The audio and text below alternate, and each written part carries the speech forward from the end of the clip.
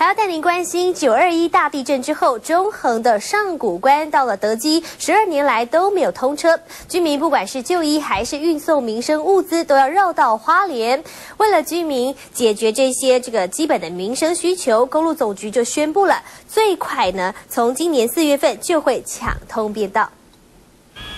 九二一大地震让中横的上古关道德基一段就是十二年，触目惊心的景象让当年开拓的工程师好心酸，因为半个世纪前，他们为了这条路差点连命都没了。我那个好累，因为要爬上去，爬那个山啊，山顶，然后呢，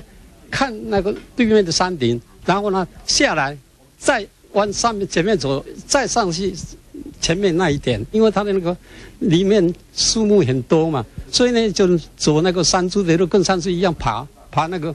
路进去。爬出来的路就是山里人的命脉。为了让居民可以不用再绕行花莲，公路总局也首度宣布，最快要在下个月抢通一条便道。预定是在四月份能够啊，五月份左右能够把它完成的话，那我们在夏季会一天有七个时段的这个开放，那冬季会有五个时段的开放。花了三点五亿修了七个明隧道，以后看医生、送蔬果，总算可以不用再绕路拼命跟时间赛跑。